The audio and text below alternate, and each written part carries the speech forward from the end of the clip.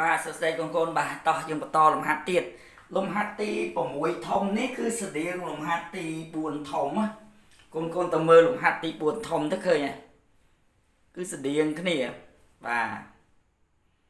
បាទស្តៀងលំហាត់ទី4ធំបាទគាត់ថារូបរូបទី4ធំរូបវាប្រឈរដល់ពេលនេះរូបពេលផ្ដេកមកវិញអញ្ចឹងរបៀបស្រាយគឺស្តៀងគ្នាណាហ្នឹងហើយបាទ បានន័យថាត្រីកោណនេះវានៅពីលើគ្នាណាជ្រុង AB យើងមើលមើល AB ឯណា AB នោះ AB ស្មើនឹង AC បានន័យថាខ្លីស្មើខ្លីហើយ AD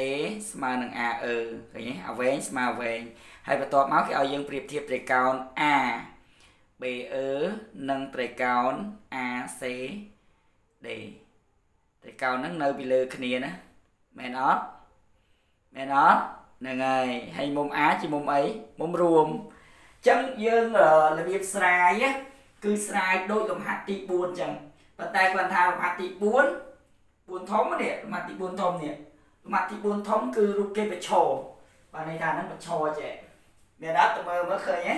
ហ្នឹងប្រឈរចេះដល់ពេលឥឡូវគេផ្ដេកមកវិញអញ្ចឹងហើយគេដូរអសផ្ដេកឲ្យដូរអសមកវិញចុះមានអីពិបាកទេណាហ្នឹងហើយអញ្ចឹងអឺកន្លែងនេះទី2នេះ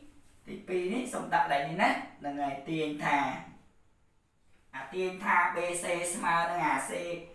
អឺ BE ស្មើនឹង CD នេះអានេះតយើងប្រៀបធៀបត្រីកោណខាងលើសិនណាហ្នឹងហើយទាញថា BE BE ហ្នឹងស្មើនឹង CD អត់ទេហ្នឹងហើយអញ្ចឹងតើធ្វើអាទីបាទទី1នេះសិនណាហ្នឹងហើយ ចឹងត្រីកោណ A បាទ BE បាទនិងត្រីកោណបាទ ACD បាទ ACD មានមានអីមានមុំ C នេះជាមុំបាទមុំរួមមុំរួមវាប៉ុននេះតើណាហើយសមត្ថកម្មនេះ AB ស្មើ A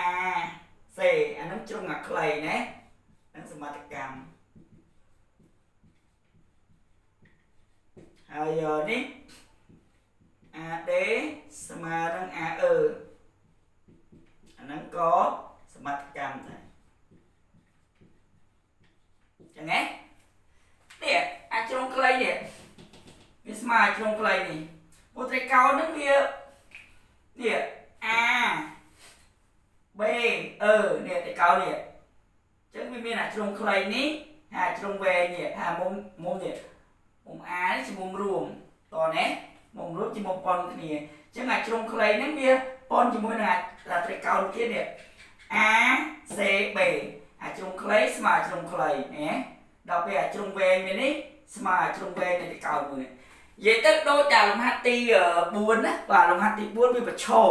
ដល់ពេលនេះវាផ្ដេករូបមកវិញយល់ទេហ្នឹងហើយទៅមើលលំហាត់ទី4ឲ្យយល់ទៅដល់ពេលអាទី6នេះដូចតែទី4អញ្ចឹងហ្នឹងហើយចឹងគេអាចទាញបានថានោះ បាទនោះឬក៏ដូចនេះត្រីកោណ A BE ប៉ុននឹងត្រីកោណ A ACD តោះនេះបាទករណីអឺទីម៉ានណាទី2ហ៎ហ្នឹងហើយករណីប៉ុនទី2គឺចបាទមកចបាទយើង ប្រើមុំតែមួយទេប្រើមុំមួយជ្រុង2មុំមួយប៉ុនគ្នាអមតែជ្រុង2ប៉ុនរៀងគ្នាឥឡូវយើងមើលតាមតាមខាងលើតាមសំណួរខាងលើបាទគឺត្រីកោណ A B E ហ្នឹងបាទប៉ុននឹងត្រីកោណ ACD ហើយចឹងវិបាកណែគេអាចទាញបាន BE ស្មើនឹង CD បាទនេះថាជ្រុងវានេះ BE ស្មើ CD អើយអស់ស្រួលប៉ុណ្្នឹងហើយណាអត់មានអីពិបាកទេបាទតាមប្រគួរតែធ្វើខ្លួនឯងទៅមិនឲ្យគូធ្វើឲ្យទៀតហាត់ប៉ុណ្្នឹងនេះគាត់ជាលំហាត់គំរូដើម្បីឲ្យកូនកូនអឺចេះរបៀបស្រាយណាធននិមិត្តគេស្រាយពីណាទៅណាអញ្ចឹងណា ពេលដែលយើងចេះអាគំរូតូចតូចហ្នឹងទៅបានយើងទៅមើលអាលំហាត់ស្តង់ដាគេប្រឡងទៅយើងនឹងមានគំនិតដែរថាធ្វើមិនអីមិនបាទហ្នឹងហើយចឹងចប់ហើយកូនចាប់តាមចូលទី7គំរូទី7មួយទៀតណាណាអឺគំរូទី7ណាតោះលឿនយើងបានចូលគំរូទី7បាទគំរូទី7 គំរូទី7គំរូទី8តតបទៀតទៅណាធ្វើឲ្យយើងកាន់តែកាន់តែស្ទាត់ណាយល់ទេហ្នឹងហើយបាទអញ្ចឹងមកគំរូមកគំរូហ្នឹងធ្វើឲ្យកូនកូនមានគំនិតចេះស្រាយធននិមិត្ត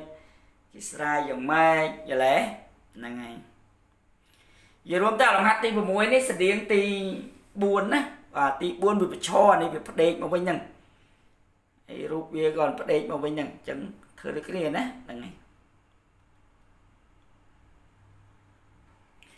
អានេះគេឲ្យជ្រុងពីរប៉ុនរៀងគ្នាហើយ BD ជា BC ជាជ្រុងរួមអានេះគឺករណីទី3គឺចចចករណីប៉ុនទី3ណាហ្នឹងហើយហ្នឹងហើយគេឲ្យរូបនេះមកណា AB ស្មើ C នេះ CD ហើយ AC ស្មើនឹង BD ហើយគេប្រៀបធៀបត្រីកោណហ្នឹងនេះត្រីកោណ ABC ហ្នឹងជាមួយនឹងត្រីកោណនេះអឺ A B C និងត្រីកោណ D បាទ D C B នេះគេឲ្យមកគឺគេដាក់អក្សរមិនក៏បានដែរតែយើងហៅហៅឲ្យត្រូវហ្នឹងហើយ A B C អញ្ចឹង D C នេះ B អញ្ចឹងណាហ្នឹងហើយយើងសង្កេត ឃើញថា BC ជាជ្រុងរួមហើយជ្រុងនេះស្មើនេះនេះនិយាយរួមទៅអានេះគេគាត់តែឲ្យយើងដឹងខ្លះខ្លះរបៀបស្រាយរបៀបអីចឹងណាគំរូហ្នឹងហើយដល់ពេលយើងទៅមើលអរមហាត់បាក់បាក់ទើបយើងដឹងថាអូអានេះស្រាយមិនស្រាយមិនចឹងណាហ្នឹងហើយចឹងគេគាត់ឲ្យយើងរៀនឲ្យដឹងហើយចឹងណាតែកោនេះវាអត់នៅលើគ្នាទេវានៅជាប់គ្នាអញ្ចឹងស្រួលរយបាទវាទាញពិបាកចាំពេលក្រោយឥឡូវយើងមើលត្រីកោណ ABC និងត្រីកោណអានេះយើងហៅ A ចឹងយើងហៅ D មុនកោណ D A B C ចឹង D C B ណា D C B យើងហៅដាក់ឲ្យវាត្រូវគ្នាណាជ្រុងវាណាណាទម្លាប់ចឹងហៅបាទ A B ស្មើនឹង C D ដាក់ជ្រុងរួមទៅលើមុនល្អ អឺ B C បាទជាជ្រុងរួមបាទជាជ្រុងរួមញ៉េដាក់កត់ផងក៏ល្អដែរណាកត់ BC ជាជ្រុងរួមហើយ AB AB ស្មើនឹង CD សមត្ថកម្មកម្មជិលនឹងសេនដែរដែរ AC ស្មើនឹង BD អានេះក៏សមត្ថកម្មដែរអញ្ចឹងហ៎ចឹងនាំឲ្យគេបានត្រីកោណ ABC ប្រាភាសានោះល្អជាងនោះឬក៏ដូចនេះកោណ ABC ហ្នឹងវាប៉ុនជាមួយនឹងត្រីកោណនេះបាទ D CP បាទគឺករណីបាទទី3ករណីប៉ុនទី3ណាគឺចបាទចចបាទញ៉េនៃប៉ុនទី3គឺ ចចចករណី3នោះមកបាទគឺករណីប៉ុនទី3ហ្នឹងណាខែពាក្យប៉ុនខ្លួនឯងផងអូខេតោះវិបាកបាទវិបាកខខទី2ពីនេះទាញវិបាកបាទវិបាកយើងឃើញថាអ្វីដែលយើងយកមកប្រើនេះសិតតែជាជ្រុងអញ្ចឹងវិបាកនៅសិតតែមុំហ្នឹងណាគឺមុំនេះមុំនេះមុំនេះមុំនេះមុំ A នេះធ្វើឲ្យវាស្មើនឹងមុំ D ឃើញទេមុំ A ស្មើមុំ D ហើយបន្តមកទៀតនេះអាមុំឡើងនេះនឹងបានស្មើមុំឡើងនេះនេះយ៉ាងមុំនេះវះធំវាមិនស្មើវះធំនេះណាហ្នឹងហើយហ្នឹងមុំទី2នេះមុំទី1មិញស្មើនេះយល់ទេនឹងវិបាក ចឹងយើងហៅមកមុំ A B C ស្មើនឹងមុំនេះ A B C មុំរង្វះនេះវាមិនស្មើរង្វះនេះបាទគឺមុំ D C B D C B ញ៉េមុំនេះស្មើមុំនេះដល់ពេលនេះរង្វះទូចនេះស្មើនឹងរង្វះទូចនេះញ៉ាទូចនេះស្មើនឹងទូចនេះយល់ទេណាយល់អត់ អានេះរង្វះរីធំនេះរង្វះរីទូចបាទចឹងមុំ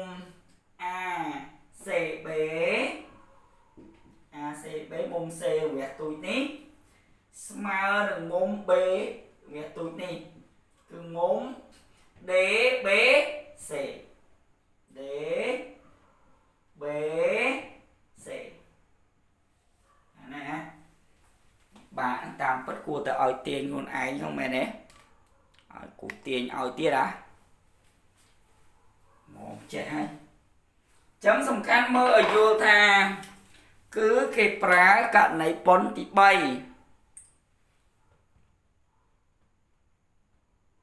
អីប៉ុនទី3ណា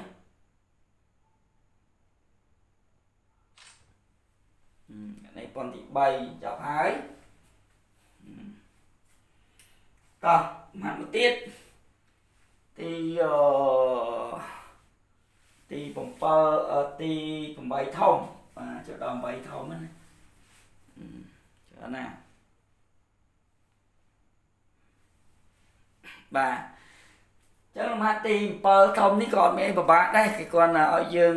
ដឹងដឹងរបៀបទៅសេសេយ៉ាងម៉េចចឹងណាហ្នឹងហើយ